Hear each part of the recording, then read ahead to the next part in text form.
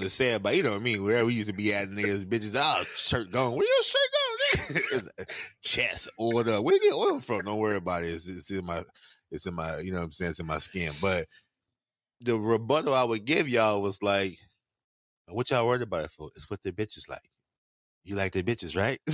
like, don't worry about it. You know what I'm saying? But if y'all would have been like, you know, oh nigga, you over here, boom, boom, boom, I wouldn't have got mad, and you know what I'm saying? Like, I would have cracked my jokes back, but my my rebuttal would have been like, women like it, and at that point, you can't say nothing. But for some reason, maybe Wiz on, you know, maybe having a bad day or something like that. But that's possible, yeah it's funny to me because now Gillie out here boxing and shit, throwing his little uh, workout videos up. So what you saying, Gillie? You trying to see Wiz on that one on one?